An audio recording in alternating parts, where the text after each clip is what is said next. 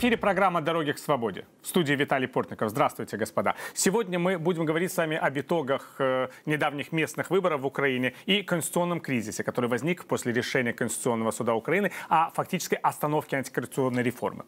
Почему на фоне утверждения руководителей президентской партии «Слуга народа» о ее победе на состоявшихся 25 октября местных выборов в Украине, эксперты заявляют о личном провале на этих выборах президента Владимира Зеленского? И почему предложение главы государства по выходу из конституционного кризиса не находит поддержки в Верховной Раде даже среди его собственных сторонников? Ответ на эти и другие вопросы мы будем искать с нашими гостями. В студии политолог Виктор Таран. Здравствуйте, Виктор. Витаю вас. И на связи по скайпу главный редактор агентства РБК Украина Сергей Щербина. Здравствуйте, Сергей. Здравствуйте, Виталий. Ну, перед тем, как мы начнем разговор, сюжет о том, что же произошло в результате местных выборов и о причинах конституционного кризиса в стране.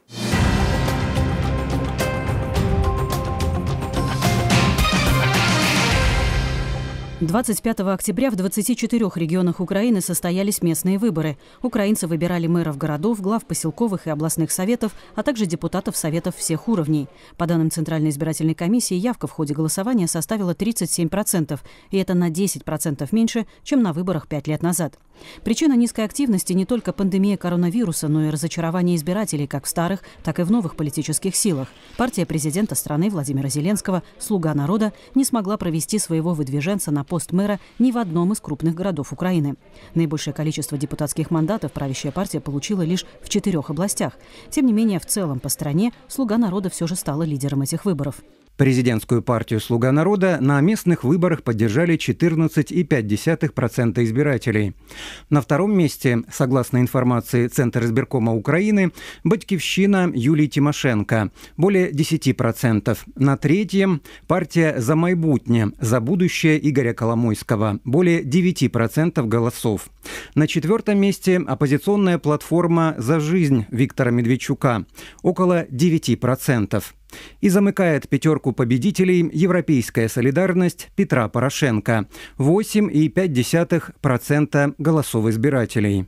Критики власти называют результат партии Зеленского, получившей почти в три раза меньше голосов, чем на состоявшихся в июле 2019 парламентских выборах, провалом. В условиях продолжения падения популярности и «Слуги народа», и действующего президента власть в регионах фактически окажется под контролем оппонентов Зеленского. И это может быть еще одним поводом для обострения внутриполитической ситуации в стране. Кроме неудачи на местных выборах, у шестого президента Украины появилась еще одна проблема. Конституционный суд в конце октября остановил антикоррупционную реформу. В частности, фактически суд отменил систему электронного декларирования доходов чиновников. Как выяснилось позже, как минимум трое судей, проголосовавших за такое решение, имели конфликт интересов. Против них расследовались дела о неточностях в декларациях о доходах. Борьба с коррупцией – краеугольный камень отношений Украины с Западом. Решение Конституционного суда, как заявил бывший премьер Арсений Яценюк, не просто подрывает антикоррупционную реформу, но и угрожает перспективе членства Украины в Евросоюзе. Президент Зеленский в конце октября собрал срочное заседание Совета национальной безопасности и обороны, на котором было принято решение игнорировать вердикт Конституционного суда. Справа не тільки в цьому рішенні, а загалом цілеспрямованих. Дело не только в этом решении суда, а в общем в действиях отдельных лиц, направленных на нарушение общественного договора в Украине, на создание реальной угрозы национальной безопасности и обороны нашей страны. Мы должны не допустить ни того, чтобы эта проблема начала решать по своему усмотрению улица, ни того, чтобы это или какое-либо другое решение Конституционного суда использовалось нашими врагами для дискредитации Украины за рубежом кордоном. Дискредитації нашої країни за кордоном. В конце октября у здания Конституционного суда митинговали активисты, обвиняя судей в выполнении политических заказов Кремля и украинских олигархов. А президент Зеленский тем временем предложил Верховной Раде распустить нынешний состав Конституционного суда и избрать новый. Однако в парламенте пока не спешат рассматривать инициативу Зеленского. Многие правоведы и политики называют президентский проект антиконституционным и ведущим к узурпации власти. Как заявляет окружение главы государства, конституционный кризис в Украине может разрешиться уже в ближайшие недели. Сам же Зеленский сейчас находится на лечении в правительственной клинике Феофания после того, как накануне у него обнаружили коронавирус. Положительные тесты на COVID-19 получили также ряд членов правительства, Конституционного суда и руководителей Верховной Рады. По последним данным, в Украине зафиксировано уже более полумиллиона случаев заражения коронавирусом. Ну вот посмотрим на результаты местных выборов. Президентскую партию, согласно предварительной э, информации Интердруковым, поддержали 14,5% избирателей. На втором месте Батькивщина Юлии Тимошенко 10%, на третьем за майбутнее Игоря Коломойского 9%, и на четвертом э, месте ОПЗЖ 8,8%. Пятерку победителей замыкает партия «Европейская солидарность» 8,5% голосов избирателей. Но эти результаты ведь не учитывают популярности местных проектов, насколько я понимаю, которые тоже очень сильны на этих выборах. А социологические опросы, которые мы видели последних дней, показывают, что есть такая большая тройка партий. «Слуга народа», оппозиционная платформа «За жизнь» Виктора Медведчука, «Европейская солидарность», Э, Петра Порошенко. Причем э, нужно сказать, что в некоторых опросах «Слуга народа» даже опустился на третье место, бросил вперед ОПЗЖ и Европейскую солидарность. Это тренд такой падения популярности партии власти? Или это вообще уже не партия власти? Падение рейтингов партии власти в Украине в принципе тренд во все года и времена. Это тоже правда, да. У нас э, очень редко, когда партия власти удерживала рейтинги дольше одного года, но тут еще наложились те проколы, которые партия власти допустила на экономическом уровне, на политическом уровне, внутренние конфликты коррупционные конфликты в середине партии и власти. Ну и самое главное, они за этот год не смогли, по сути, выполнить ни одного своего обещания. То есть не просто выполнить, а воплотить в жизнь, да, чтобы люди ощутили э, реальные какие-то изменения. Вот. Ну и самое главное, не, было предложено никакие новые идеи для того, чтобы вывести экономику с, с кризиса. То есть и, и на этом фоне, конечно, падение происходит. Сергей, вот э, лидеры партии «Слуга народа», наоборот, говорят, что они вообще уверенно побеждают, пользуются доверием населения, и вообще все хорошо. На самом деле, вот все эти разговоры о падении их популярности – это исключительно технология злопыхателей. Мне кажется, что это в первую очередь провал партийного строительства. И проблема в том, что «Слуга народа» не смогла найти, очевидно, не смогла найти сильные кадры в регионах, не смогла построить нормальные ячейки в разных-разных регионах, хотя как монобольшинство, как парламентская фракция, в принципе, за этот период времени, наверное, уже была обязана это сделать, ну, хотя бы в каких-то базовых своих регионах. Этого не произошло, потому что ну, достаточно посмотреть на результаты в облсоветах на юге Украины, где лидирующие позиции занимают УПЗЖ либо местные проекты, хотя на президентских выборах это был, ну, в принципе, базовый регион для Владимира Зеленского, как и на парламентских в 2019 году. Поэтому это проблема партийного строительства. Проблема в том, что э, кадры не подобрали, не смогли привлечь партию тех людей, которые могли бы обеспечить результат на местах. Ведь местные выборы, они ценны чем? Э, на местных выборах и результаты в Украине это показывают, э, не так явно продается в кавычках повестка общегосударственная, сколько местная. То есть люди больше доверяют тем, кому они знают чуть ли не лично в своих населенных пунктах, э, в своих местах, где они живут. И вот тут, мне кажется, это самый главный технологический прокол услуги народа.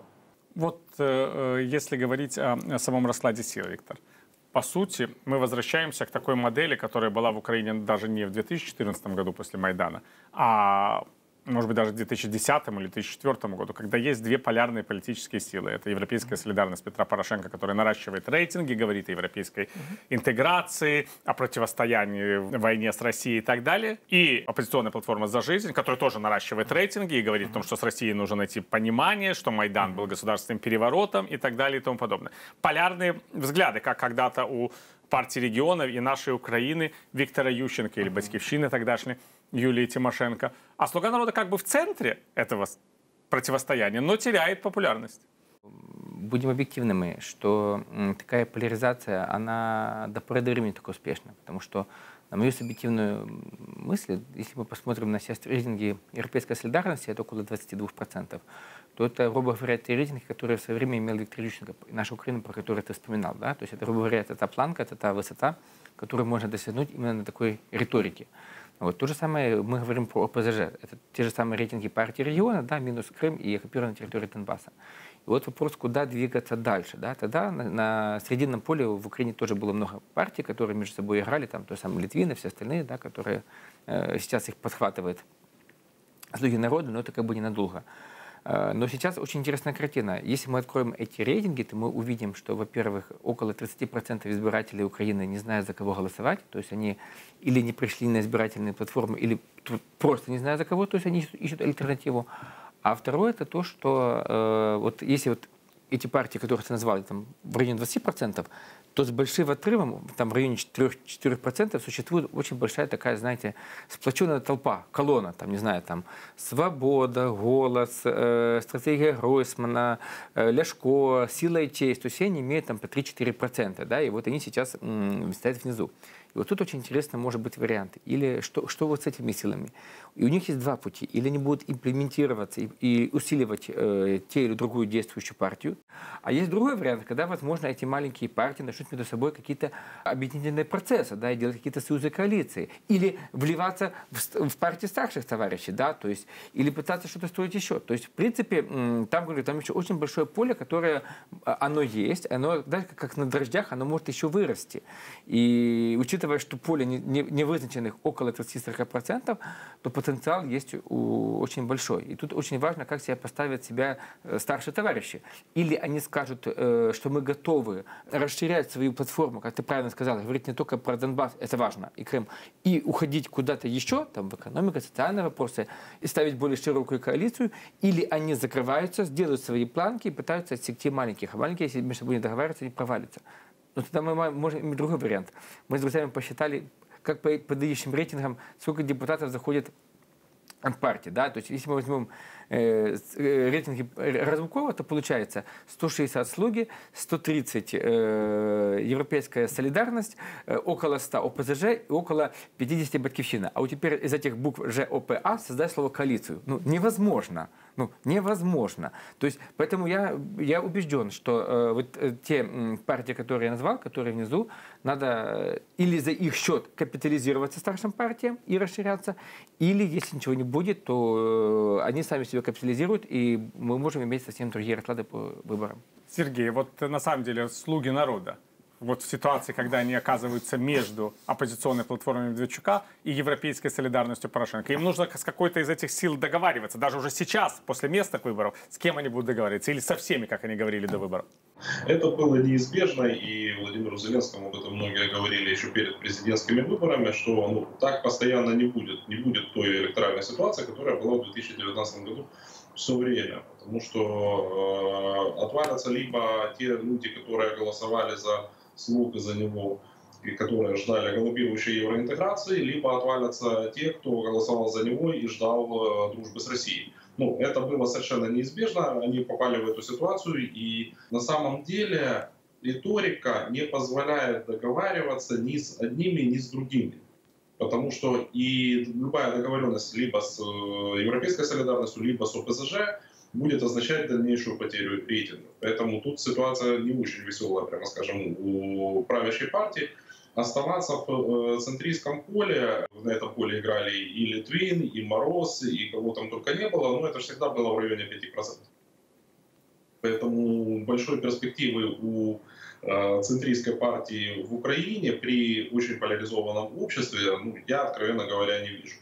А, тем более я не очень понимаю, как при таком подходе выходить дальше из того же конституционного кризиса, о котором мы, очевидно, будем говорить с вами дальше. Потому что без политических партнеров э, слуга народа этот вопрос не решит. Почему? Потому что для этого надо конституционное большинство. И с одной стороны, этот вопрос надо решать, с другой стороны, это политически очень чревато для их рейтинга. Что выберут они, рейтинги или решение вопроса, ну, посмотрим.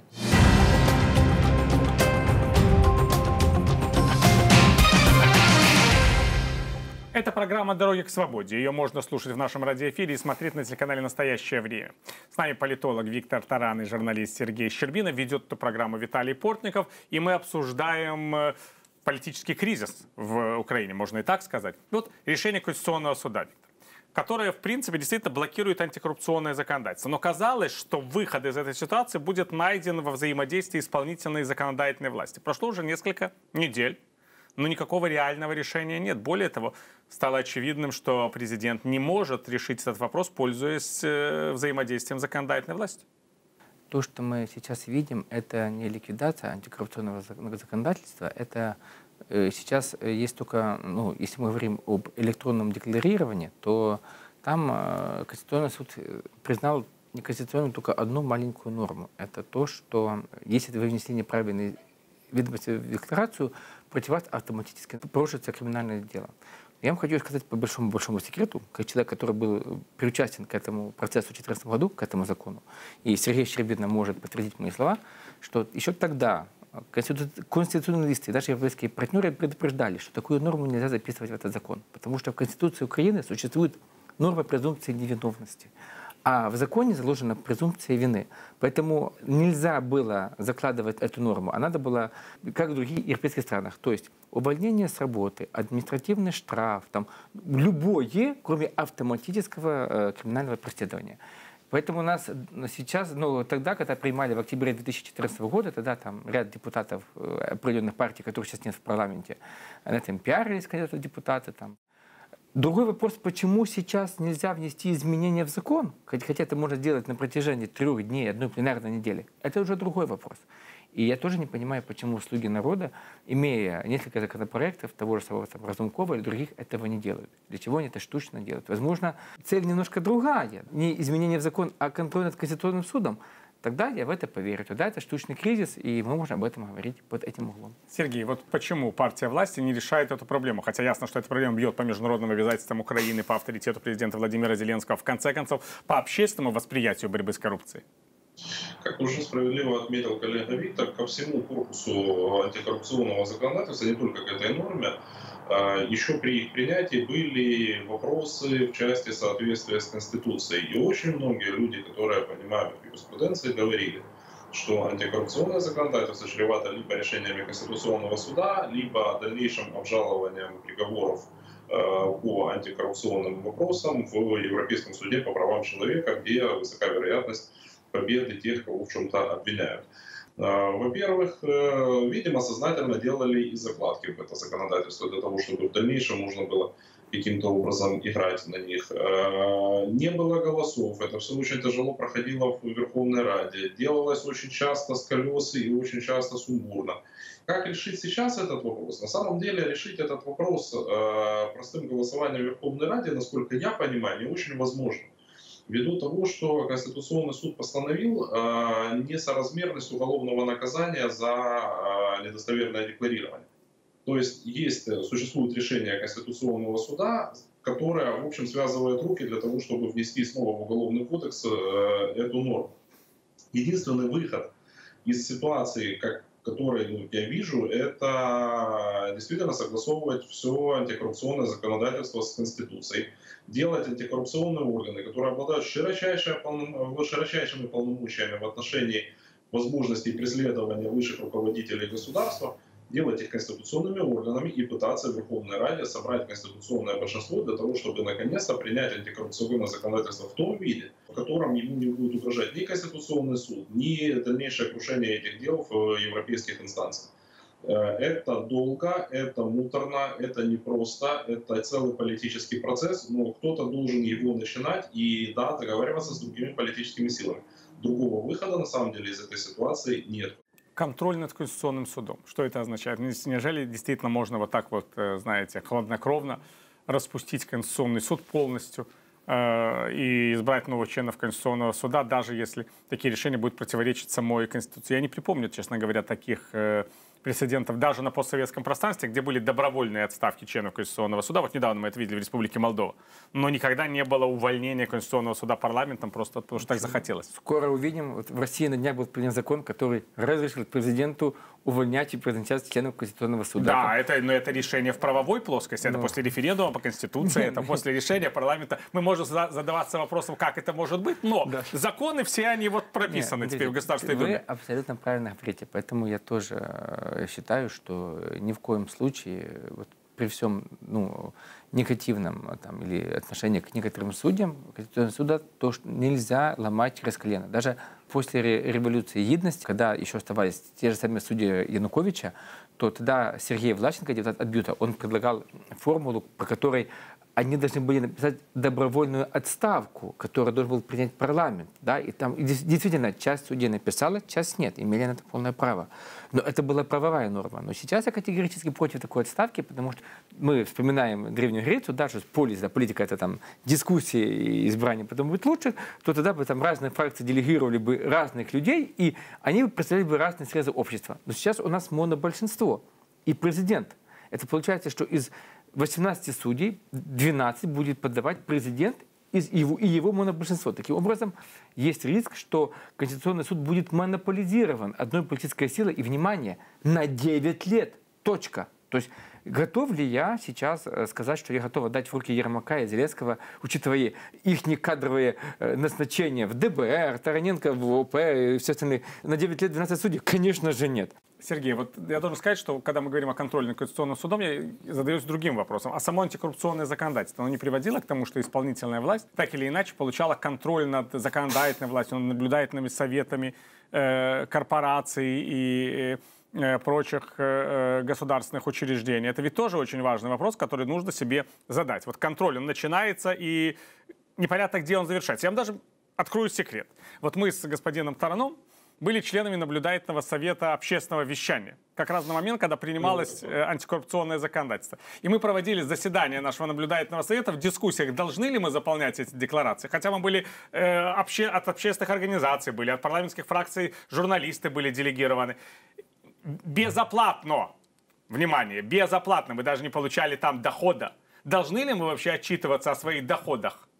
Перед гражданами или нет. И, кстати говоря, четкого ответа нам никто не дал. Но власть очень хотела, чтобы эта отчетность была. Потому что, естественно, когда у тебя в руках декларация того или иного лица, даже который не получает у тебя никакой зарплаты, ты уже получаешь некие инструменты контроля. Вот там вы что-то не записали, там вы не упомянули какую-то квартиру, там машину, там доход, и, пожалуйста, голосуйте, как нам нравится. Потом два года тюрьмы. И потом, да, если вы этого не сделали, вы попадаете в тюрьму ситуация немножко даже хуже. Почему? Потому что э, вы говорите о контроле исполнительной, органов исполнительной власти, а где написано, что антикоррупционные органы – это органы исполнительной власти. У нас Конституционный суд впоследствии принимал целое разъяснение на тему того, что э, НАБУ, где у нас написано НАЗК, у нас орган исполнительной власти, а НАБУ э, определен как орган, имеющий признаки органа исполнительной власти. То есть статус антикоррупционных ведомств, он не урегулирован абсолютно, и понять их место в системе государственного управления Украины в принципе невозможно. Что касается самого декларирования по сути, по моему глубокому убеждению, система, э, жесткая система декларирования э, возможна только тогда, когда в Украине будет произведена финансовая амнистия и нулевая декларация.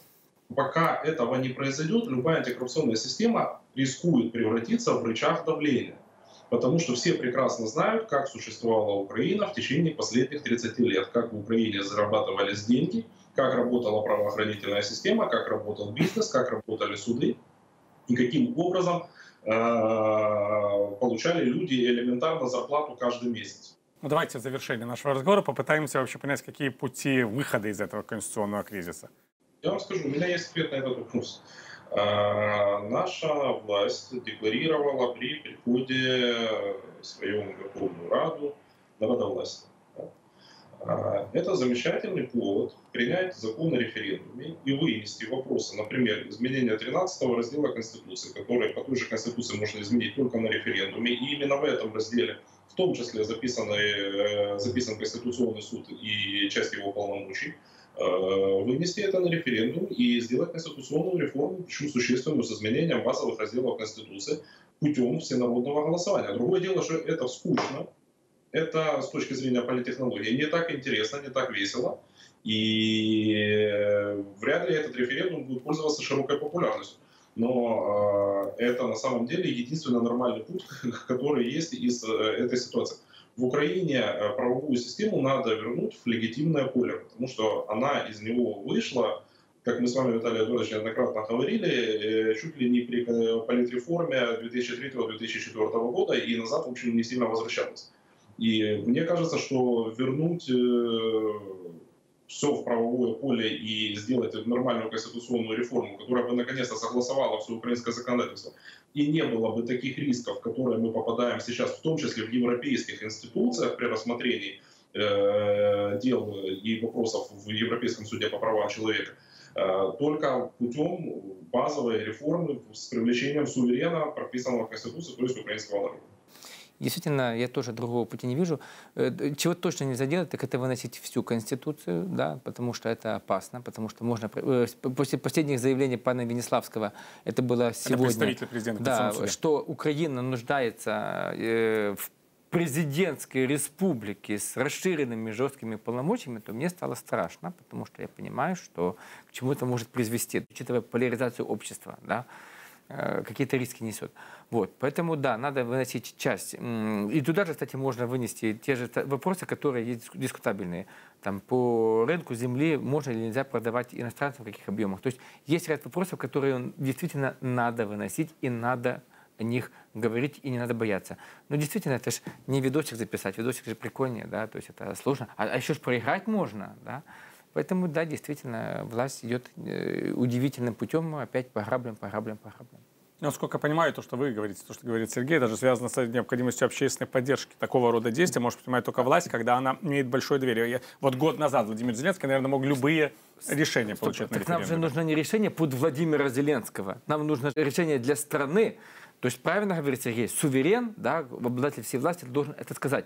Только действительно там, чтобы не было манипуляции, да, потому что э, референдум самые большие манипуляции, да, вспоминаем Гитлера, э, Аргентину, да, другие страны. Это должно быть минимум полгода э, подготовка, информационное разъяснение, почему, что, куда, то есть чтение. То есть это должно быть где-то период где-то год. Я понимаю, ну, да, это длинный процесс, но если мы хотим для нашей страны конституционное будущее, то другого пути нету. Ну, даже ребенка там ты это долго растишь, а государство тем более. Это. Спасибо, Виктор. Напомню, что мы говорили сегодня с политологом Виктором Тарном и главным редактором агентства РБК Украины Сергеем Щербиной. Спасибо, господа, что были в нашем, в нашем эфире. Программу «Дороги к свободе» можно слушать в нашем радиоэфире и смотреть на телеканале «Настоящее время». Провел эту программу для вас Виталий Портников. Я прощаюсь с вами, друзья. До следующих встреч. Удачи!